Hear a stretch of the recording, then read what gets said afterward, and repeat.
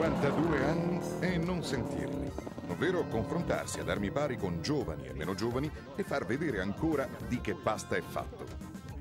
Per la prima volta o quasi su una gruppo N, il finlandese in Costa Smeralda ha ancora una volta dato spettacolo, cogliendo alla fine il quarto posto nell'assoluta e il primo tra le vetture di serie.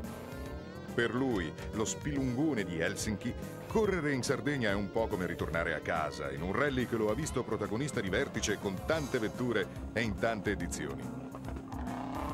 La stella dell'edizione numero 21 del Costa Smeralda è stata proprio lui, Mark Allen, l'uomo dai 20 rally mondiali vinti. Il campione che nel suo palmarès non ha nessun titolo iridato piloti, ma solamente una Coppa FIA, quella del 1978, vinta con una Fiat 131 Abarth l'anno prima che il titolo mondiale piloti fosse istituito. In gara, come detto, Marcu non ha certamente tradito le aspettative, cogliendo un prestigioso risultato, nonostante che nella prima tappa il cofano motore malfermato si fosse aperto improvvisamente in prova, spaccandogli il vetro anteriore. Il minuto e mezzo perso nei confronti di Pianezzola, il Finnico se l'è poi ripreso nella seconda tappa, superando il rivale per soli tre decimi di secondo.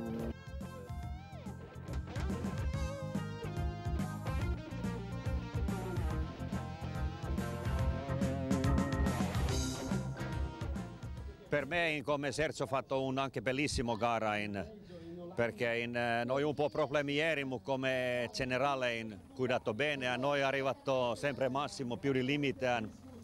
Prima e ultima noi un po' problemi ammortizzatori come oggi, noi tirato, non lo sai, più di ultima, più di massimo, noi vinto un secondo. Bello bello così. Uh, no, niente segreto in uh, questo mio isola.